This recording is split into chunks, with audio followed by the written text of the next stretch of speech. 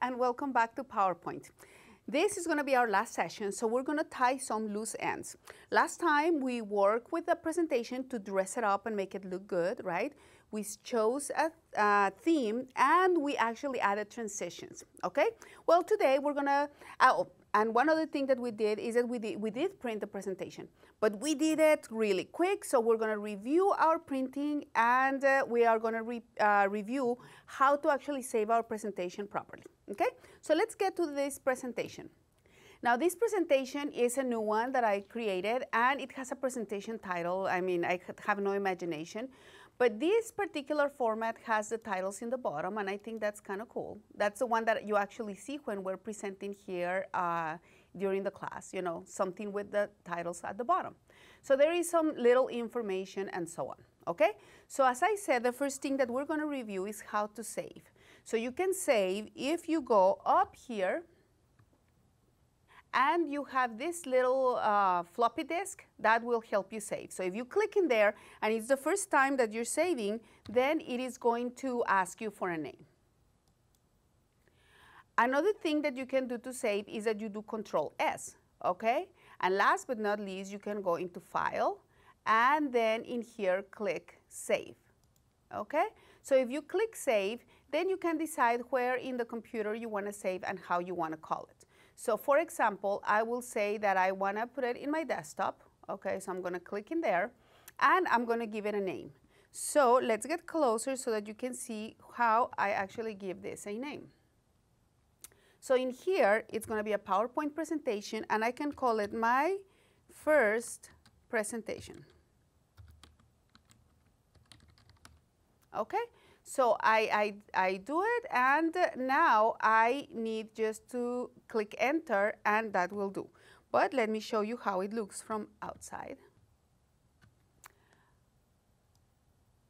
Okay, so I am just going to click save in here and we are good to go. So the presentation has been saved and you will know that it has been saved because here at the very top you're going to be able to see that your title is, it has a, actually a title. It says my first presentation instead of presentation one like it said before. Okay, so now my presentation has been saved and I need to make some printing. Printing can be done with different purposes, okay? One of the purposes that you may have is that you may want to give notes to you, the people that are listening to your presentation. As I mentioned last time, there is many different ways of printing. You can print for your audience, you can print for yourself, you can print for your boss, you can print for your records. There is many different ways of doing things. Now, if you have, for example, audience that have, uh, you know, not so good, uh, uh, you know, like a view that they have a hard time and they need to wear glasses, then you may want to have larger slides. Maybe you want to just cram all the slides or maybe you want to add notes, okay? So what we're going to do now is that we're going to look at different ways of printing, okay? So we're going to first try to print using, uh, giving you the standard handout that it's my, my favorite to give to our audiences. Let's go back in there. So again, I'm going to go into File, and I am going to look into Print. And here it is. And when we have print, this is what we're going to look at, okay? So if I just click here in print, the settings that I have in here are the ones that are going to be taking place. But I want to be more picky about it because whatever is in there, I don't even know what is in there. So let's take a look at what is in there, okay? It's sending me to a particular printer that is right here in the media center, okay? And it's telling me that it's going to print the entire presentation. It's going to print all the slides. And look at this, it's to print full page slides. So that's to be, if I have 100 slides, it's to be 100 pages and it's to be huge and it's to use a lot of ink. And if it's color, ooh, forget it, right? It's a lot of money on that one. Now, you can decide to print one-sided or double-sided. You can decide to collate, you know, or grayscale. Okay, so let's go over each one of these things. If I want to print all the slides, I could pick that, or I could say just print the current slide or print a range.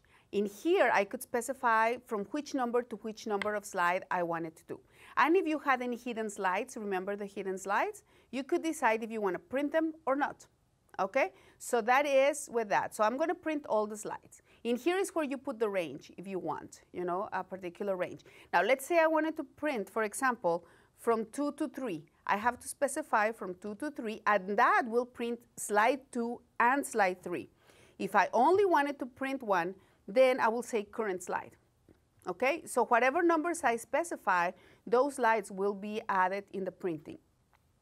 Usually we print one-sided unless you have a really fancy uh, printer, so I will leave that alone. The collated, you know, I'm gonna leave it alone. We usually print one presentation at a time, and by definition, it collates properly. But here, let's go in this part where we decide if we wanna use color or not. Okay, so this one will print grayscale, but you could choose color, but keep in mind that will take a lot of ink, you know, color ink, and it can get expensive. You can do grayscale or you can do pure black and white. I'm gonna show you how this one looks like. And when you have it in here, you can see in the side how that will look like, okay? So it's showing here, and here at the bottom, you have some arrows that will help you go and check out all the slides and see how they would look like, okay? Now this is full slides, but instead of uh, doing that, I don't want to print the full slides. I would actually like to just print, um, I would like to print notes. Those are the mo most common ones. So I could do notes pages. Okay, let's try that so that you can see how it looks, the two slides, three slides. This is my favorite, the three slides, the handouts. Now, if you do that now, you can actually go back and check how it looks now, and you see what you're going to be getting, right? So if you are in pure black and white and you're doing three slides per page, this is the way that it's going to look. And you can scroll in here and see the whole presentation the way that it's going to be printed. And then you can decide the number of copies that you want to make. Okay, that will be if that's what you wanted to do. Now, instead of uh, doing a handout, what if I want to do, actually, I want to do my notes. Okay, so I will go in here and select a different thing that I want to print. Okay, I can say that I print my notes page. Or I can even print the outline. Remember the outline that we used when we first began preparing this presentation? I could do that, which will help me know exactly what's going on and what's the next slide. Or I could do notes pages. In this case, it's going to look funny if I show you the notes pages because we don't have any notes. At least I didn't put in this one. But let's show you the outline, okay? So if I have the outline, this is the way it's going to look. And if you recognize that, that's sort of the way that the outline in itself looked, you know, in that left side of it. But I am going to cancel it. I'm just going to go back because we're not going to be printing right now. You have to be very aware of the printing part, okay?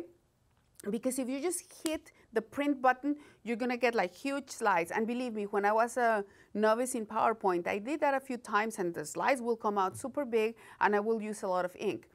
Be sure to manage your cartridge, your print cartridge. In this case, the presentation that I created for you has a blue background. If I am not aware of that, I'm gonna print all that and imagine like blue background with a huge, you know, in the whole page, it's gonna take a lot of your blue ink and you're gonna run out of it before you know it, okay? So be careful with that.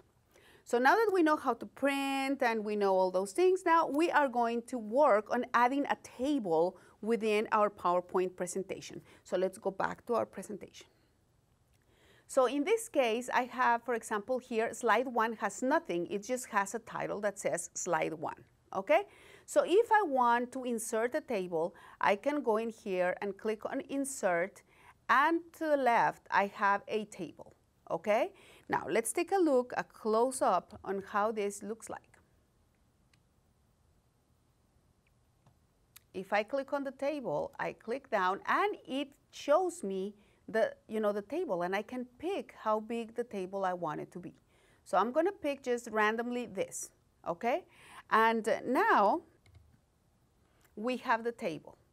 Okay, when uh, I don't have anything but the table in here, the table is going to take center stage. Okay, notice that there are several things that I can do with my table. My table looks like it has some headers and it looks banded which is easy for people to see which uh, column and which row is which. Okay, but I could take away the header row by clicking in here at the very top and you see it disappear.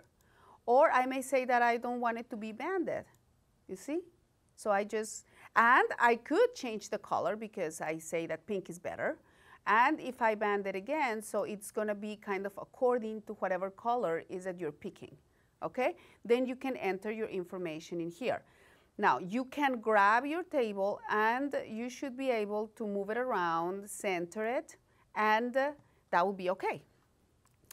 Now, in this case that I'm showing you, we have the table and it is by itself. So, you know, it takes center stage, it can be a huge table. But what if I wanted to have a table that was along with some other, you know, words, some other information, okay? So let's go back into the PowerPoint presentation and let's look at one of the slides that has some information and let's add a table into it. Let's go back. So for that, then I'm going to pick this table. You know, I mean, this one that has some information, you know, some information and more information. And I'm going to ba go back in here and say insert a table. And I'm going to pick how I want it. And again, you know, there's no big deal. I can just grab my, grab my table and put it wherever I want. Surely you want it centered. So we can, you can make it, you can shrink it. You see, you can realign, you can make some columns wider than others, and so on. It just depends on whatever it is that you want to do. Now, last but not least, let's add some fun to these tables, okay? Aside from adding tables, you can always add, you know, um, images, clip art, but that will be just as simple as adding the table. What I want to show you now how to do, the last thing that we're going to do, is that I'm going to show you how to actually animate the table going in. Okay, we have done already animation of transitions, but now let's try to animate that table. So we have this table and I'm gonna click on it, okay? And I am going to go into the top, into the ribbon and look for animations. And I find it right in here, okay? So my animations are gonna be applied to the table because the table is the part that I have selected. So I can decide to make it appear, fade, fly in. I like the fly in and that will fly in from the bottom. But again, we also have, you know, other options that we can select. We can say, oh, how about you add, uh, you come in from the left, this one. I like that one. See, and then it just stops right in there. So you can figure out here how you want your animations to work. And most of them, and let me get closer, most of your animations, you know, by definition, they will be on click. So they will start whenever the user clicks, okay, AKA you, when you're giving your presentation. So if you want, you, I mean, at this point and in this class, if you know how to get your animations to work on click, that will be fantastic and that's sort of what you should be by now. Okay, so with this then, if we run our presentation, allow me to run it so that you can see it. I'm gonna go into the show and I'm going to start, and here is my slide three, and when I click, there you go. So I clicked, and I, I got my information, then I click again, I get to slide four, I click again, and I go to slide five, and so on. Okay, and remember, oh, you want to go back, click your arrow back, you want to go back into the front, you click your arrow forward.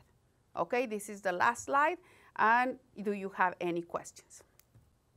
Okay, so with this, we have finished our, our quick crash course in PowerPoint. With this uh, information, you should be able to create good presentations. But more than anything, you should look at yourself and make sure that you are appropriately dressed and you address your audience properly because that's the most important part of the presentation. That is you. Thank you.